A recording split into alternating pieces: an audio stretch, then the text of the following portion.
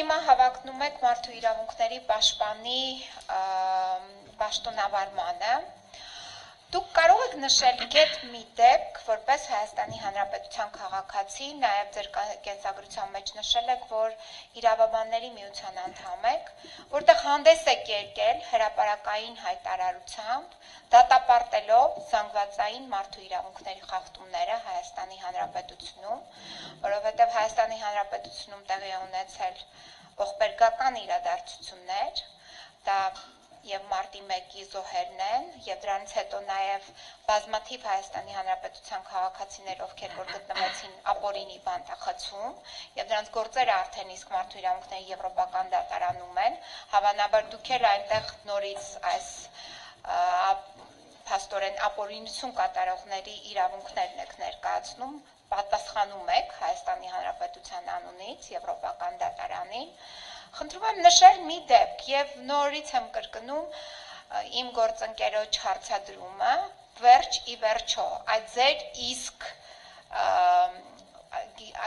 գիտական այդպիսի թեզ ունեք նաև իրավաբանության ոլորտում որպես գիտնական վերջի վերջո այն մանավանդ որ դուք հավակնում եք այս պաշտոնին այս պահի դրությամբ ունեն քաղաքական հայացքներում բանտախցում քաղաքացիներ այդ ձեր ասած կոնկրետ որ պետք է ուսումնասիրեք, բայց ես չէր հետաքրքրում, այսքան բարձրաձայնում են, որ Հայաստանում կան քաղաքական հայացքների համար հալածյալներ, որ օրինակ հենց այս տարի արձանագրվել քաղաքական հայացքների համար բանտախցում քաղաքացի Գևորգ Սաֆարյանը, որի վերաբերյալ կա կարծիք հեղինակավոր իրավապաշտպան կազմակերպության կողմից Human Rights Watch-ից, որը նամակով դիմել է, բայց ես որպես քաղաքացի ով հավակնում է, Այս հարցը գոնե մասնակետ քաղաքացի, որը անտարբեր չէ, որովհետև սրանք իրադարձություններ են, որոնք ուղակի սովորական չեն, այլ կապված են լուրջ մարդու իրավունքների խախտման հետ։ Միայն դուք չեք վերլուծե այդպես, ասում եք պետք է ես մանրամասն, բայց դուք որպես քաղաքացի այդ մանրամասները ձեզ չհետաքրքրեց, չվերլուծեցիք եւ խնդրում եմ դրանց պատասխանները տրամադրեք։ Մինչեւ պարոն Թաթոյան անդրադառնամ, դուք իմ ջան, դուք որպես տեխնացու եք հարցադրում են, չեսնում թե որպես падգամավոր։ Արդյոք այստեղ շահերի բախում ոչ ոչ հավասար դիրքերում գտնվող տեխնացուների խնդիր չկա։ Ես խնդիրներ չեմ հարուցում, ընդհանրապես կանոնակարգ օրենքով ազգային ժողովի շարժում եմ առաջ։ Տիկին Ես գտնում եմ, որ ձեր հարցը սխալ է։ Ազգային ժողովի կանոնակարգ օրենքի 6.2 կետի 24-րդ կետի համաձայն այստեղ կարող է լինել եւ շահերի բախում, կարող է լինել նաեւ ոչ հավասար իրավիճակում գտնվող երկու տեխնացուներ։ Դուք այս բանին օգտվում եք որպես падգամավոր ձեր լիազորությունից հարց եք տալի մեկ այլ տեխնացուին։ Պարոն Ուրիխանյան ինքը գիտի ինչ կպատասխանի, խնդրում հետեւաբար նաև ազնիվ լինենք ընդգծենք այս փաստը։ Իմ հրաապարակային դիրքորոշումների հետ կապված։ Դրանք բազմաթիվ են։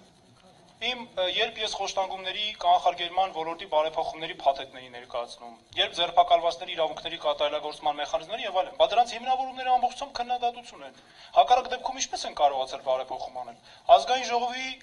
ամբիոնից իմ ելույթները,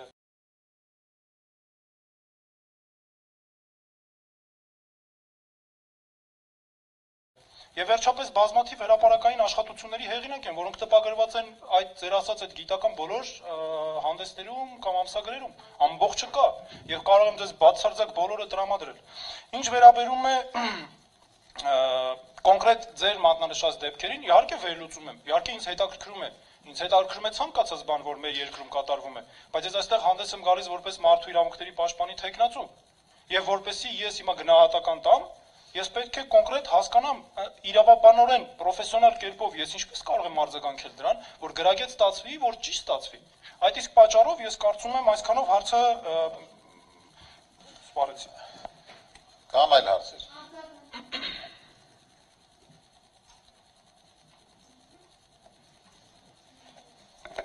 Նախ չպատասխանեցիք, խուսափեցիք։ Այն սկզբունքը, որը մենք մտածում ենք, որ պետք է իրագործենք, դուք նաև խուսափեցիք ընդհանուր առմամբ մասնակցելու բանավեճի, Եվ այստեղ էլ խուսափում եք բոլոր հարցերին պատասխանելուց, եթե ձեզ այդքան հետաքրքրում է, ապա եւ տեխնացու դուք կարող եք ձեր կարծիքը հայտնեիք եւ չխուսափեիք, փաստորեն դուք խուսափում եք կարծիք արտահայտելուց եւ ակնհայտ է, որ դուք գտնվում եք հենց իշխանության ենթակայության տակ եւ կատարողի դերում եք։ Իսկ ինչ վերաբերվում է մարդու իրավունքների եվրոպական դատարանի պատասխաններին, ապա դուք միանշանակ կատարել եք իշխանության ապորինի գործնեության փաստաբանի դերում, դա միանշանակ է եւ մենք այսօր ունենք բազմաթիվ բողոքներ մարդու իրավունքների եվրոպական դատարանում, որոնք ուղակի եւ դատարան դատավորի փոփոխության պատճառով հետաձգվեցին այդ գործերը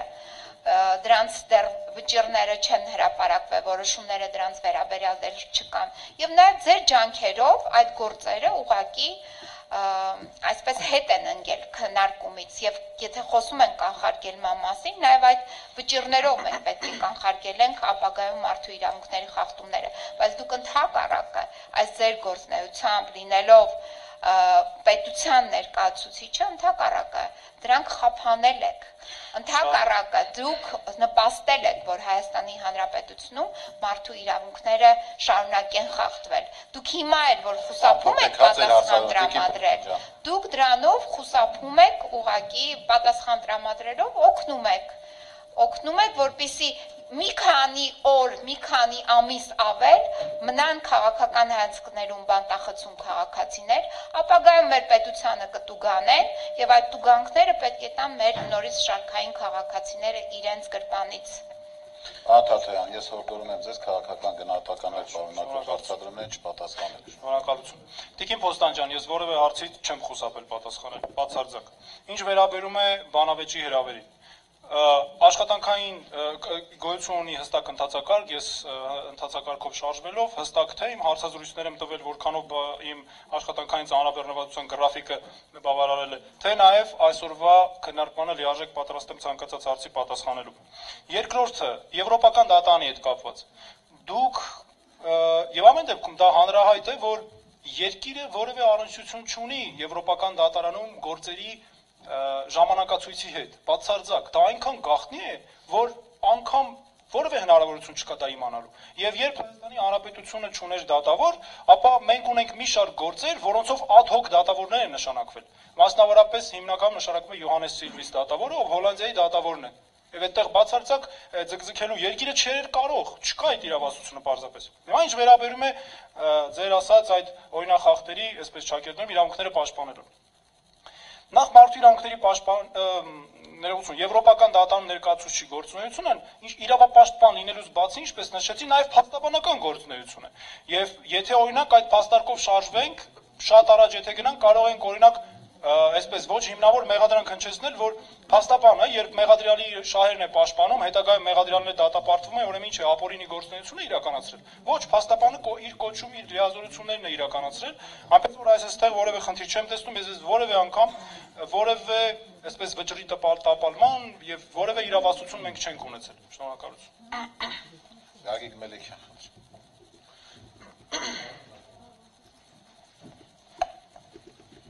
Պարոն Թաթուան,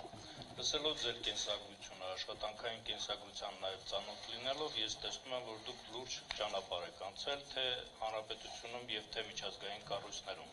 Այնուամենայնիվ ինձ համար հետաքրքիր է հանրային ճանաչվածության մասին ինչու լրատվամիջոցներում այնքան խիստ գնահատականներ են հնչեցում ձեր կապակցությամբ, որ հանրային ճանաչվածությունը ձեր շատ թույլ է։ Եվ երկրորդը, նմանատիպ հարց նույնպես հնչեց արդեն իշխանությունների հասցեին շատ են գրում, որ դուք քննադատական խոսքով հանդես չեք գալիս։ Ինչու։